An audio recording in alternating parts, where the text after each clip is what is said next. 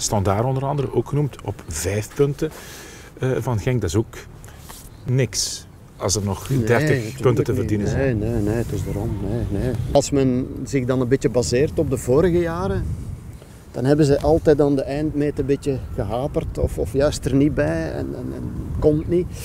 Misschien nu wel, dat kan hè. Standaard heeft alle wapens om, om kampioen te spelen. Zoals meerdere ploegen in België.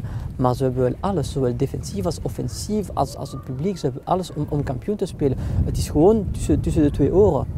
Hoe starten we aan de wedstrijd? Ik denk dat ze daar ook al enkele jaren op zitten wachten. Hè, om het toch uiteindelijk eens terug te nemen, die titel. En uh, ja, nu misschien met Michel Predom erbij ook, uh, dat die, die extra stimulans naar de groep, naar de club kan toegeven. En die uh, Orlando Sa scoort daar ook nog een heel belangrijk doelpunt voor hem dan. als spits lang geblesseerd geweest, komt binnen, maakt hij 4-3 en, en, en, is misschien meteen vertrokken.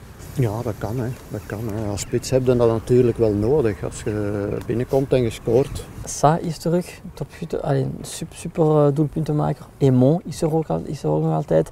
Van achter beginnen ze stevig te zijn. Uh, op het middenveld hebben ze Carcela en Poco op de flanken, Genepo. Eh, sorry, deze ploeg kan kampioen spelen.